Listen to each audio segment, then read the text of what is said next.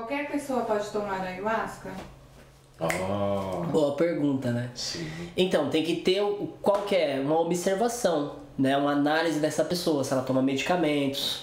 Tem uma lista de medicamentos que pode, tem uma lista falando que não pode. Então tem que avaliar essas questões.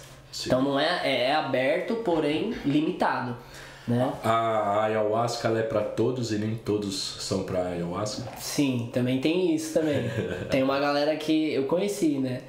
É uma galera que toma uma vez e, tipo, não quero tomar nunca mais, saca? Tem essa também. Porque eu acho que recebeu o que tinha, né, de merecimento ali É naquele isso, foi, momento. foi a sua semente que você plantou. E- Entende? Eu acho que é isso. Mas tem essa questão né, é, científica, né? Re- Realmente ele, ele traz é, benefício, traz, traz muito benefício, porém, atrelado a outros tipos de, de medicamento, né? Sim. Tem que ser avaliado com mais cuidado.